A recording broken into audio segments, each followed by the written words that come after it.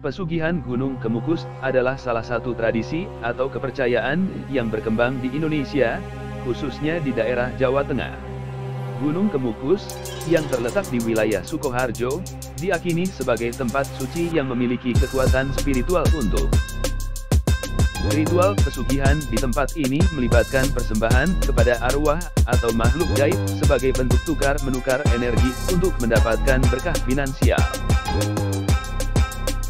Namun, Gunung Kemukus pesugihan ini ternyata beda dengan gunung di tempat lain yang bisa mendatangkan kekayaan. Melalui berbagai ritual di makam Imam Samudra atau Imam Samudro, mereka yang melakukan ritual di Gunung Kemukus bisa memperoleh kekayaan, tujuh generasi keturunan tanpa harus mengorbankan nyawa manusia. Namun tetap saja, meskipun tanpa tumbal manusia, pesugihan Gunung Kemukus juga memiliki syarat, yang harus dipenuhi oleh setiap orang, yang datang bertujuan untuk meminta kekayaan.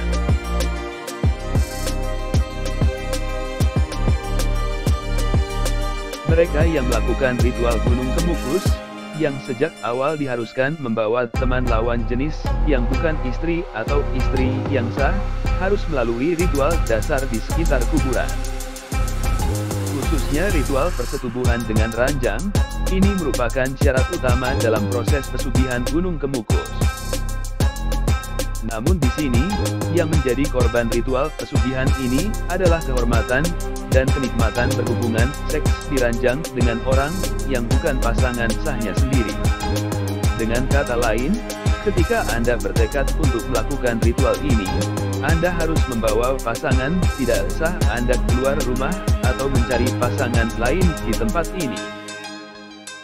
Sensasi kenikmatan itu bukan karena melakukan hubungan dengan pasangan baru tapi karena adanya kejadian misterius yang mempengaruhi kenikmatan hubungan kala itu. Gerakan ini gila. Hanya demi kekayaan seorang istri atau suami mengorbankan pasangan sahnya untuk berselingkuh dengan orang lain. Pengorbanan bukanlah nyawa melainkan jiwa dan kehormatan manusia. Untuk itu, jangan sekali-kali melakukan ritual seperti ini, karena sangat bertentangan dan melanggar aturan syariat agama, dan tentunya dosanya besar.